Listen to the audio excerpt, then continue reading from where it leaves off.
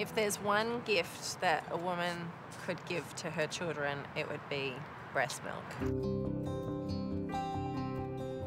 When I'm breastfeeding my girls, I know there's something else going on besides just the nutrition.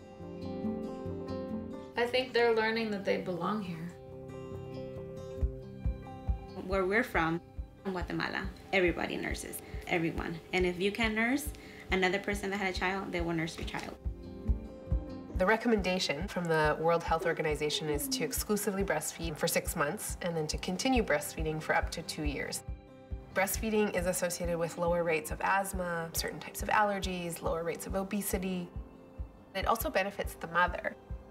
Moms who breastfeed have a lower rate of diabetes later on. They have lower rates of breast cancer and ovarian cancer. As it turns out, when you breastfeed, you aren't just feeding your baby, you're feeding your baby's microbes in ways that even the most advanced infant formulas aren't yet able to do. Over thousands and millions of years, breast milk has evolved to feed babies and their microbiota. Why is mom making 150, 200 different complex molecules at very high concentrations if there wasn't a benefit for either the infant or the mom? We now know that those oligosaccharides are feeding the gut microbes. So they're not feeding the baby, they're feeding the baby's microbes, and that's incredibly important.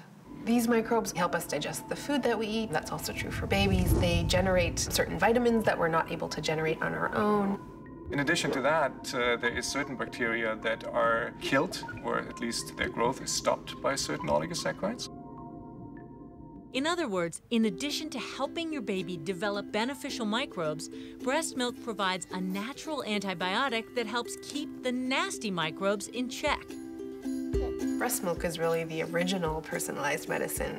Every mom makes different breast milk, and even that mom's breast milk changes over time. So as the infant grows, the breast milk changes to meet its needs. So if a baby gets sick, breast milk changes to adapt to that change. So why don't more women breastfeed? Well, I can tell you, it ain't easy. It's a loaded question to ask a mother what her plans are for breastfeeding because I think it's this horrible combination of it being the most natural thing in the world and probably one of the most hard hardest things in the world to do. One reason why we are not talking about these things very often is because it's an uneven playing field. The formula industry has a multi-billion dollar market and marketing campaign behind it that pushes a product which is not the equivalent to human milk. The last thing we want is to stigmatize women that cannot breastfeed or choose not to breastfeed. I think we need to be sure that we have alternatives available, whether that's donor milk or substitutes in the form of infant formula. So, breastfeeding. If you can swing it, pretty strong recommendation.